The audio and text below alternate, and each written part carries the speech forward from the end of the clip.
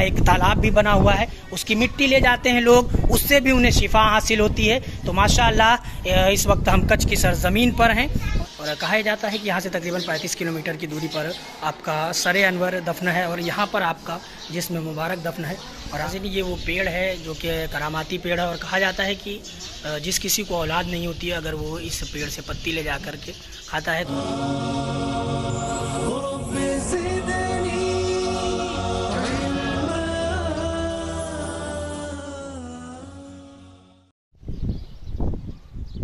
अल्लाम नाजरीन, आप हमारे चैनल स्टोरी ऑफ़ ऑल अल्लाह पर।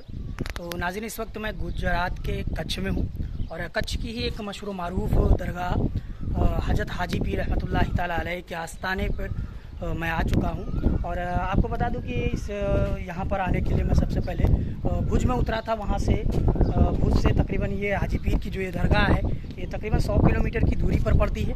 और वहाँ से हम जो आए हैं वो पर्सनल गाड़ी से आए हैं। यहाँ पर आने का कोई साधन नहीं था। तो चलिए चल कर के आपको आस्थाने के आसपास की ज़्यारत करवाते हैं और ये नज़ारा दिखाते हैं। बहुत तेज़ हवाएँ हैं। समुद्र का आखिरी हिंदुस्तान का आखिरी छोर है। इसके कुछ ही दूरी से फिर पाकिस्तान का बॉर्डर भी शुरू हो जाता है और बहुत तेज़ हवाएँ हैं और 100 किलोमीटर के दायरे से हम लोग चल के आए हैं। वाइट रन के बीच से हम लोग आए हैं। तो वहाँ पर एक भी घर या बस्ती नहीं थी, जिसके बाद यह हाजी पीर का ये इलाका पड़ा तो चलिए आपको हाजी पीर की सास्तानी की ज़्यारत करवाते और ख़ुद भी ज़्यारत से फैज़ाब होते हैं। तो नाजिन, इस वक्त हम गुजरात के कच्छ के हाजी पीर की दरगाह पर हैं और ये वो हाजी पीर का मेन गेट है। और तकरीबन 100 किलोमीटर का सफ़र है भुज स्टेशन से यहाँ आने के लिए। और किसी तरह का कोई साधन नहीं मिला, हम पर्सनल सवारी से आए हैं।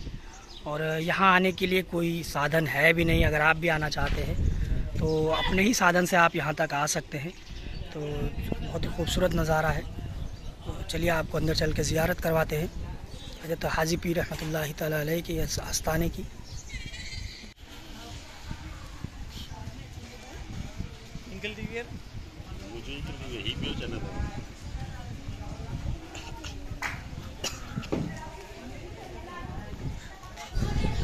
नाजिन इस वक्त हम हाजी पीर रहमत ताली के आस्थाने पर हैं, जिन्हें शहनशाह कच्छ गरीब नवाज़ के नाम से जाना जाता है।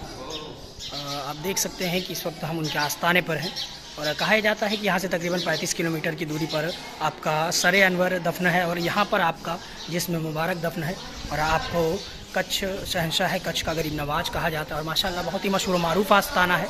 तो ये आपके आस्थाने के शहन का कुछ नज़ारा है। अभी हम अंदर चल कर भी आपको ज़्यारत करवाएँगे। तो आप ज़्यारत कीजिए हज़रत कच्छ पी, कच्छ हाजी पी रहमत ताली की। और ये आपके आस्थाने के आसपास का कुछ नज़ारा है। और माशाल्लाह ये भुज से तकरीबन 100 किलोमीटर की दूरी पर है और वहाँ से आपको यहाँ आना होता है।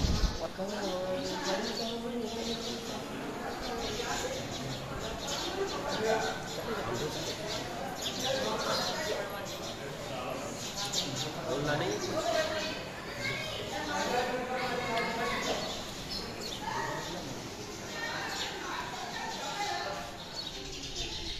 नाजिन ये वो पेड़ है जो कि करामाती पेड़ है और कहा जाता है कि जिस किसी को औलाद नहीं होती है, अगर वो इस पेड़ से पत्ती ले जा कर के खाता है तो हाजी पीर के सदक़े अल्लाह ताला उसे शिफा देता है। और यहाँ पर एक तालाब है, उसकी भी मिट्टी से अल्लाह ताला शिफा देता है। तो इस वक्त हम सहनसाह कच्छ, हज़रत गरीब नवाज़ रहमत ताली के आस्थाने पर हैं और माशाल्लाह बहुत ही खूबसूरत नज़ारा है। हज़ारों की तादाद में तो ज़ायरीन वो यहाँ पर तशरीफ़ लाते हैं।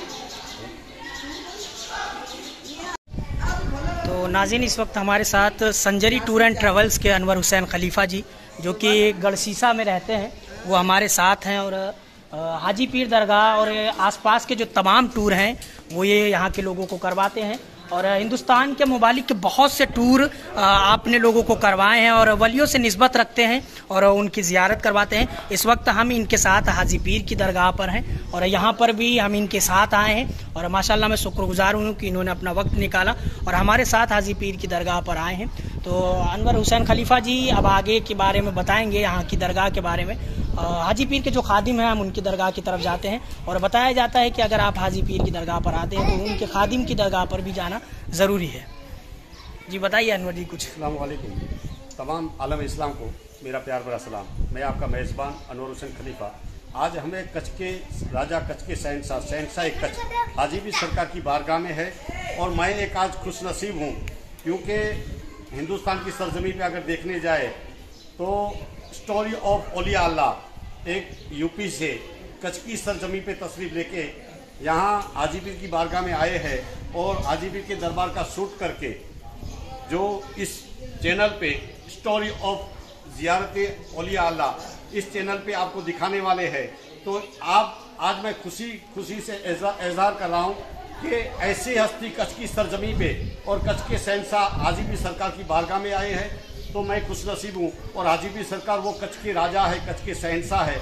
जहाँ हर इंसान आता है। बेशक। हर मुराद पूरी होती है। ये आजीपी सरकार का दरबार है। और हम जियारत करने के लिए जाते हैं। आजीपी सरकार के जो उस जमाने में खादिम थे खिदमत किया करते थे मुबारक अली सरकार की बारगाह में वहाँ जियारत करेंगे और आगे की जो भी जानकारी होगी इंशाल्लाह देते रहेंगे। तो नाजिन अभी अनवर हुसैन खलीफा जी ने हमें बताया कि हज़रत हाजी पीर रहमत ताला के आस्थाने पर आज भी करामातों का जहूर होता है और हज़ारों की तादाद में जो लोग हैं वो आज भी आपके आस्थाने पर आते हैं और आपके फैज से, आपका फैज़ हासिल करते हैं। आपके आस्थाने पर जैसा कि मैंने दिखाया कि एक पेड़ है। अनवर जी ने बताया कि जो भी बे औलाद लोग हैं वो इस पेड़ से अगर ये पत्ती ले जाते हैं और उसे खाते हैं अकीदत के साथ तो इन हाजी पीर उन्हें औलाद अता कर देते हैं।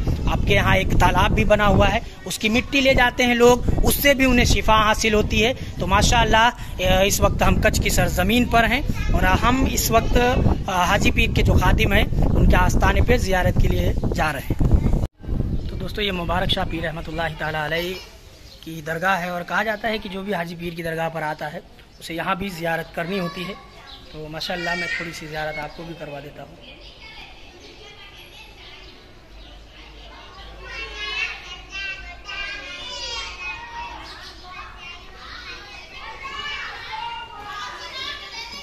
नाजरी आज हम हैं हाजीपी सरकार की बारगाह में और हाजीपी सरकार वो महान वली कामिल कच्छ की सरजमी पे है।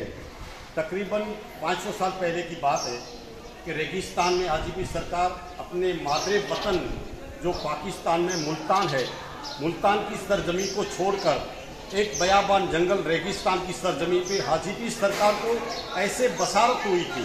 नबी पाक सल्लल्लाहु अलैहि ने एक इशारा किया था कच्छ की सरजमी पे जाइए, जहाँ रेगिस्तान है, बयाबान जंगल है, उस एरिया में जाइए, जो दीन इस्लाम की तबलीग करनी है। तो हाजीपी सरकार अपने मादरे वतन मुल्तान को छोड़कर कच्छ की सरजमीन ऐसे बयाबान जंगल में जब तशरीफ़ लाए, उस दौर, उस जमाने की बात अगर करने जाए तो यहाँ बयाबान जंगल था, रेगिस्तान था, और रेगिस्तान में पानी की बहुत ऐसी किल्लत थी। उस जमाने में पानी पीने के लिए इंसानों को, क्या जानवरों को भी नहीं था। उस दौर में आजीबी सरकार जब तशरीफ़ लाए, जहाँ पानी का भी बंदोबस्त कर दिया, उनके अलावा जहाँ जितने भी लोग रहते थे, यहाँ पास में एक नरा गाँव है। नरे गाँव में उस जमाने में, उस दौर में जो रहते थे, उन लोगों में से कई लोगों ने दीन इस्लाम कबूल किया और उसके बाद हाजीबी सरकार को मनाया कि आप हमारे नरे गाँव में रहने आइए। तो आजीबी सरकार रात को यहाँ से इबादत करने के बाद, जब रात को नरे गाँव में जाते थे सुबह शादी फजर से पहले पहले हाजीबी सरकार इसी जगह पे आ जाते थे। ये मामूल जब चालू रहा, उसके बाद ऐसा हुआ नरे गाँव में, उस जमाने में, उस दौर में एक ऐसा लुटारू आया, जिस तरह से जैसे केर उसका नाम है। उसका नाम जो था जैसल केर था, उस लुटारूम ने ऐसा आतंक मचाया, जो नरे गाँव में जो भी माल सामान था, इस तरह से जानवर भी थे। जो एक बुढ़िया गाँव, बुढ़िया औरत थी, जिसका नाम जो ब्राह्मण पंडित गिनाती से आती थी, उसकी एक गाय थी। उस गाय को भी जैसल कर लूट के चला गया। जिस तरह से लूट के चला गया, उसके बाद ऐसा हुआ, जब आजीबी सरकार नरे गाँव में तस्वीर लेके गए, तब उस बुढ़िया औरत ने कहा, मेरी एक गाय थी, जो गाय जैसल पे लूट के चला गया है। तो आजीबी सरकार ने यहाँ से घोड़े पर सवार होकर, जो शेरवा गाँव आता है, उसी शेरवा गाँव में आजीबी सरकार से जब जैसलमेर से मुलाकात हुई, उस दौरान वहाँ एक जंग हुई, जंग में आजीबी सरकार शहीद हुए और शहीद हो जाने के बाद भी अपने दर मुबारक से उस गाय को लेकर, उस ब्राह्मण पंडित देवा की गाय थी, उसको गाय दे दी और उसके बाद आजीबी सरकार अपने दर मुबारक से जहाँ दफन हुए। ऐसे महान वलीय कामिल है जो हिंदू बेवा की एक गौ माता के लिए हाजीपीर सरकार ने अपने सर की कुर्बानी दी है। ये कच्छ के राजा कच्छ के शहनशाह इस दरबार में आप आएँगे जिस तरह आप से भी मन्नत करेंगे बे औलाद को यहाँ औलाद मिलती है। नाबीने को आँखें मिलती है और जो भी बीमारी वाले लोग आते हैं चाहे कैंसर हो कोई भी बीमारी हो इस दरबार में उसे शिफा मिलती है। लेकिन बैठने का तरीका ये है आप जिद पकड़कर इस दरबार में तीन दिन तक बैठ जाइए। इंशाल्लाह मुझे यकीन है कि ये दरबार, वो दरबार है, यहाँ से हर इंसान की मुराद पूरी होती है। ये कच्छ के राजा, कच्छ के शहनशाह शहनशाह कच्छ हाजीबी सरकार का दरबार है और हम आज खुश नसीब है कि आज स्टोरी ऑफ़ ओलिया अल्लाह ये चैनल वाले यूपी से कच्छ की सरजमी पे तस्वीर लाए हैं। आज हमारा, ये हाजीपुर सरकार का दरबार है।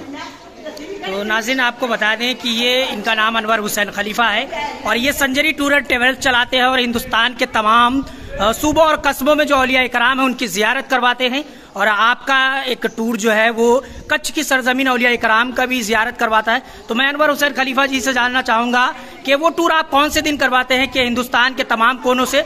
लोग हमारे इस चैनल को देखते हैं। अगर वो यहाँ कच्छ की सरजमीन पर आते हैं तो आपका वो टूर किस दिन होता है कि वो लोग अगर आना चाहें तो आप कच्छ के जो तमाम अलिया कराम है, उनकी जियारत वो कर सकें। कच्छ की सरजमी पे तो बहुत सारे बुजुर्गान दिन ओलिया कराम है। हम संडे के दिन हाजीपीर लखपत करोड़पीर सूफी मियाँ कोटला जड़ोदर, इस तरह से हम एक साइड में जियारत करवाते हैं। दूसरी तरफ़ संडे के दिन जो अबड़ासा की साइड में म्यू अब्दुल्ला लांगोपीर, दादी सुमरी, आरी खाना नरेड़ी इस साइड में हमारा टूर का प्रोग्राम रहता है। ये संडे के दिन हमारा इस तरह से प्रोग्राम रहता है कि कच्छ की सरजमी पे एक दिन का हमारा ये प्रोग्राम रहता है। इनके अलावा हमारा कई सारे कश्मीर तक कच्छ से लेकर बंगाल की खाड़ी तक और कश्मीर से लेकर कन्याकुमारी तक का हर एरिया में हमारा टूर का प्रोग्राम रहता है और हर बुजुर्गान दीन ओलिया कराम के मुकदस दरबार की जियारत भी करते हैं और उसकी सही तरह से जो डिटेल, जो माहिती होती है इन हम पेश करते रहते हैं। बिल्कुल। तो नाजिन ये बाहर से कुछ नज़ारा है।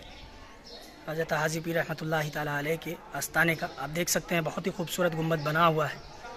और माशा दिल को पुरसकून आता है। और देख सकते हैं कितना खूबसूरत नज़ारा है। इस वक्त हम गुजरात की कच्छ में हैं और भुज स्टेशन से तकरीबन 100 किलोमीटर की दूरी पर यह आस्थाना वाकई जिसे हाजी पीर के नाम से जाना जाता है और अल्लाह के वली की बरगजीदा आस्थाना है ये और सैकड़ों की तादाद में ज़ायरीन हैं वो यहाँ पर तशरीफ़ लाते हैं और आपके आस्थाने से फैज़ हासिल करते हैं।